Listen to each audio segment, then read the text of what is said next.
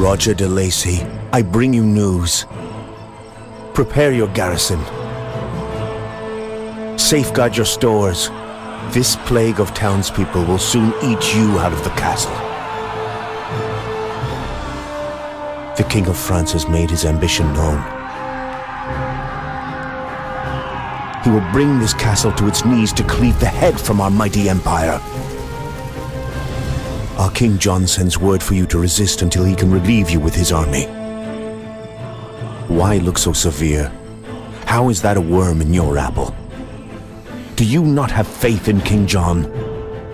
We cannot know that he's harmed the boy Arthur of Brittany to alienate the nobles here in England.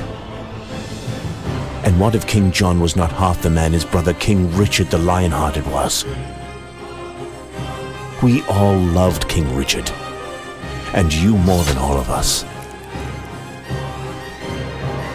So defend this castle not for the king, but in the memory of Richard. For if you live in hope of rescue, you will live in despair. You alone are the keeper of Richard's legacy.